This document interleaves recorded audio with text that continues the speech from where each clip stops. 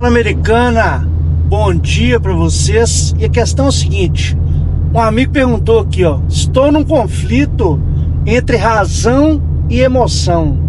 Comprar uma Super Meteor 650 ou comprar uma Harley Davidson 883, mais ou menos pelo mesmo preço. Vamos falar um pouquinho sobre isso?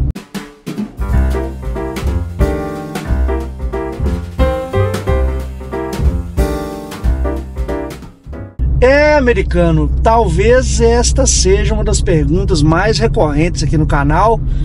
Bem-vindos ao canal Moto Diário. Vamos fazer esse carro vlog aqui indo pro trabalho, que acho que é uma questão que tem polemizado aqui, pelo menos entre os ou dentre os seguidores do canal Moto Diário, que são os amigos aqui do canal, né, cara?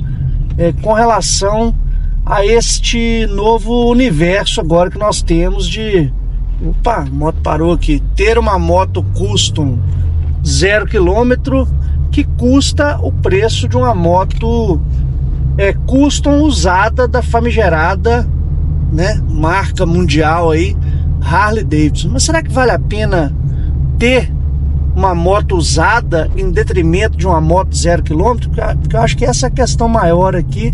E ele traz um elemento, é o Marcelo Cabral, tá? ele traz um elemento interessante, que o cara me fez a pergunta via Instagram, ele traz um elemento interessante que é esse conflito de razão versus emoção. Né? Acho que vamos, vamos discutir essa história toda nesse nosso carro vlog aqui, porque eu acho que é um assunto pertinente, mas antes quero pedir para você, americano, é o seu like, o seu comentário, o seu impulsionamento, mas principalmente a sua inscrição, que dizem para o YouTube que o nosso canal Moto Diário aqui tem relevância dentro da plataforma. Então deixe seu like no vídeo aí, deixa um comentário, se inscreve aí no canal se você não for inscrito.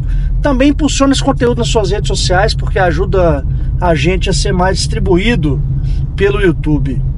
Vamos lá, vamos falar um pouquinho sobre isso, americano. Super Meteor 650, moto apresentada pela Royal Enfield, cujo preço varia aí, né? Ficou a menos de 35 mil reais. Tem a versão mais completa 34,990. Você tem a versão intermediária, né? Que seria com, só com Cibara mais completa, bolha para-brisa Cibar. É intermediária por 34,490, se não me falha a memória. E você tem a versão mais básica, seria a mesma moto, só que sem o Cibar e sem a bolha para-brisa, é, saindo aí no preço de 30, 30 e quanto? 32,990? Agora me falhou a memória aqui. Não, 33,990, né? E aí a questão é que essa moto muitas vezes ela fica na equivalência de preço com alguns modelos da Harley Davidson, como por exemplo a Iron 883, né, que dependendo do ano pode ser achada até por um preço menor, né? Pode custar menos que isso. E a grande questão que fica é o seguinte: será que vale a pena, cara? Porque assim, se você pensar em termos práticos, não vale a pena de jeito nenhum, né? Porque você vai pegar uma moto usada, você vai pegar uma moto que e esse é o grande problema, né? Você não sabe o histórico verdadeiro dessa moto, né? Quantos donos essa moto verdadeiramente teve, né? Qual foi o tipo de manutenção, que foi dado para esse veículo, né, cara? Então isso tudo são coisas que fogem da nossa gerência, né? Essa é a grande realidade.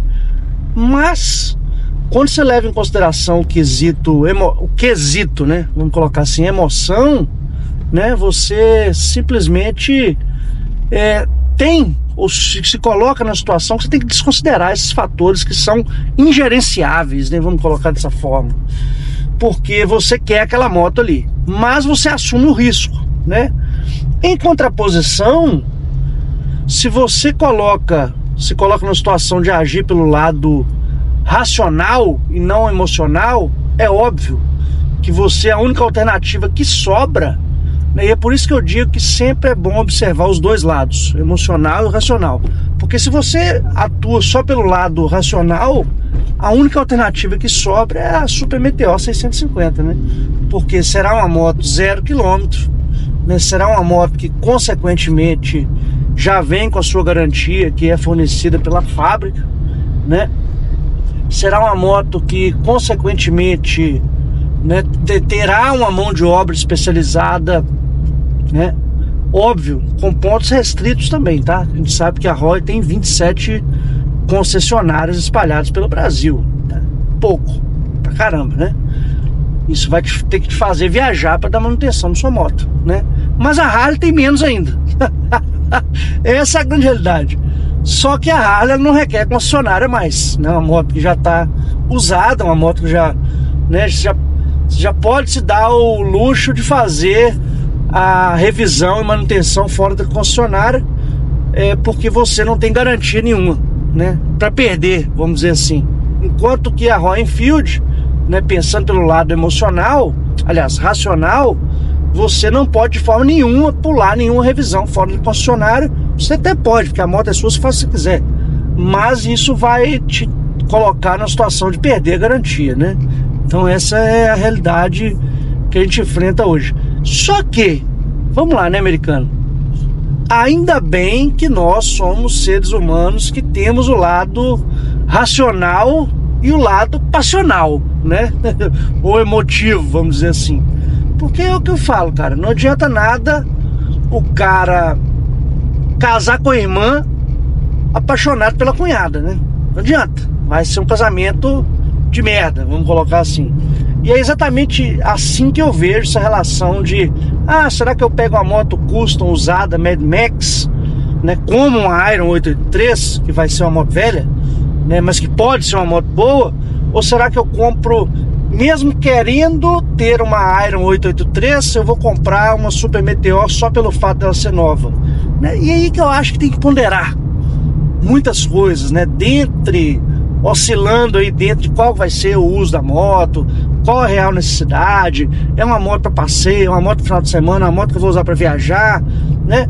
São vários fatores, vamos colocar assim, americano, ou várias variáveis, gosto muito dessa palavra, são várias variáveis que tem que ser colocadas na equação, né?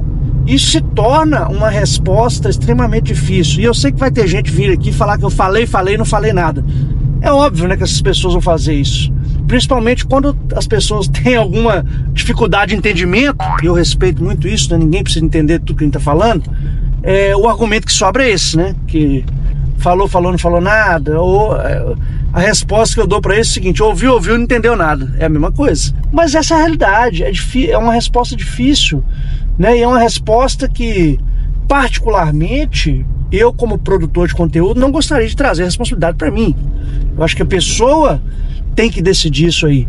Mas ao decidir isso aí, vários fatores têm que ser considerados. É isso que eu estou tentando dizer com esse vídeo aqui, né, cara? Vários fatores têm que ser considerados, dentre eles o uso da moto, que eu acho que é o mais importante, né?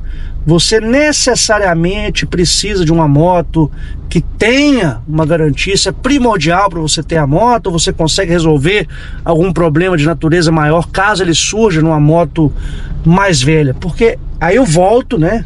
Se torna um pouco redundante, eu volto no que eu falei alguns minutos atrás, que é o seguinte: não adianta casar com a irmã pensando na cunhada. Porque assim, ó, se você quer ter uma moto da Harley Davidson, diga de passagem, uma 883 ou uma Dyna, que são motos que giram em torno dessa faixa aí de 30 e poucos a 40 e poucos mil, dependendo do ano da moto, não será uma Royal Enfield zero quilômetro que vai satisfazer, porque na sua cabeça você quer uma Harley Davidson, né? ou você quer uma Triumph, ou você quer uma Honda Shadow, ou você quer um Yamaha Dragstar, né? Então acho que esse é o primeiro conflito que precisa ser resolvido. Tendo resolvido isso aí, porque isso aí já exclui um monte de possibilidades, né? Inclusive a possibilidade racional de se comprar uma Super Meteor 650 simplesmente só pelo fato dela ser zero. Porque a grande realidade, se nós colocarmos nos pormenores, as pessoas que né, esgotaram a pré-venda aí da Super Meteor 650 são pessoas que já, por definição, haviam decidido que, sobre todas as hipóteses, né, é, a Super Meteor seria a moto deles. Né? Então acho que essa é a grande virtude dessa história toda. Entender que o lado emocional ele existe e sempre existirá. E você, Me conta aí, o que, que você achou dessa história toda? É muito importante para nós. Beleza, americano? Chegou até aqui, cara? Deixe seu like no vídeo, deixa um comentário, se inscreve aí no canal e impulsiona esse vídeo nas suas redes sociais. Beleza? Obrigadão para vocês. Excelente semana, excelente segunda-feira. E daqui a pouco a gente volta. Beleza? Tchau, tchau.